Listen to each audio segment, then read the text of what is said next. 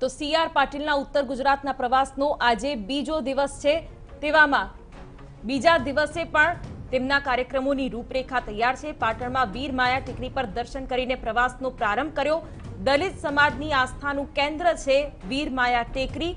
ત્યારે C R Patil ઊંઝામાં ઉમિયા માતાના મંદિરે પણ દર્શન કરશે. તો આ સાથે ટીવી નાઇન સંવાદદાતા કિંજલ જોડાઈ ગયા છે. કિંજલ સી આર પાટીલના પ્રવાસનો આજે બીજો દિવસ. આજે કયા પ્રકારના કાર્યક્રમો હશે અને કેવો માહોલ આપ ત્યાં જોઈ રહ્યા છો?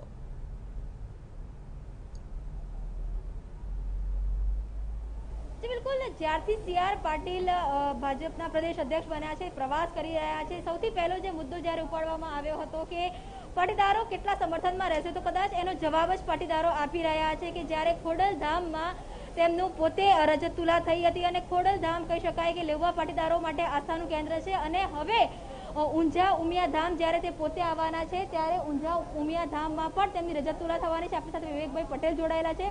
ધારાસભ્ય પણ છે અને તમામ જગ્યા પર જે રીતે એની આખી જે કાર્યવાહી થતી હોય છે, તેનાથી પણ અવગત હોય છે.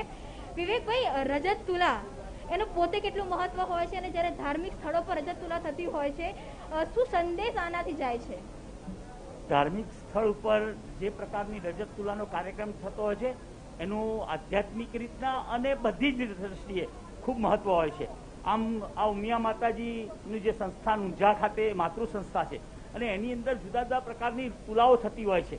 કોઈ નાનકડું બાળક જન્મ્યું હોય કોઈએ માનતા માની હોય કે ભાઈ મારે ગોળથી પણ એને, એનું તુલા કરવી છે, સાકરથી પણ તુલા કરવી છે, આ બધી પ્રકારની વ્યવસ્થાઓ અહીંયા ગોઠવાતી હોય છે. અને આ મહત્વને ધ્યાનમાં રાખીને પણ અમારા જે સુરતના મિત્ર છે, અમે વર્ષોથી સાથે સુરતની અંદર કામ કરીએ છીએ. એમનું મૂળ વતન, એમનું વિસનગરનું પાલડી છે. અને એમને વિચાર્યું કે મારે આ પ્રકારની એક વ્યવસ્થા જો માતાજીમાં ગોઠવાતી હોય તો એમાં સહભાગી થવું છે.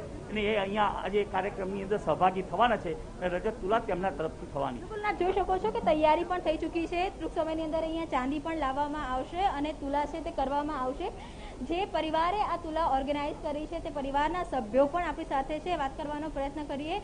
રજત તુલા કરવી છે વિચાર ક્યાંથી આવ્યો અને એની પાછળ શું મેસેજ આપવા માંગો છો આપ?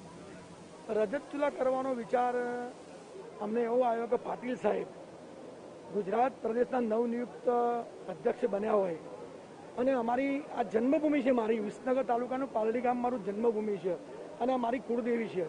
જો કુળદેવીના દર્શને સાહેબ આવતા હોય અને અમે અહીંયા સાહેબ આવે ને જ્યારે ખોડલધામમાં બી આવું થયું હોય, તો અમારો બી વિચાર એવો આવ્યો કે અહીંયા બી આપણે એમને ચાંદી તુલાથી અને રજત તુલાથી એમનું સ્વાગત કરીએ. રજત તુલામાં જે પણ ચાંદી આવશે, એનો ઉપયોગ ક્યાં કરવામાં આવશે, કેવી રીતે થશે? રજત તુલાનો કાર્યક્રમ અમારે એક તો શોર્ટ ટાઈમમાં નક્કી થયેલો છે. એટલે હવે પછીનો રજત તુલાનું અમે સંસ્થા જોડે બેસી અને આ બધો અમે વિચાર કરીશું કે આનું શું આયોજન કરવું તે. અચ્છા આનો એક મેસેજ એવો પણ આપવા માંગો છો કે પાટીદારોએ આજે પણ સી આર પાટીલની સાથે છે? હા પાટીદારોનો બહુ જ ઉમળકો છે એકદમ આનંદમાં છે.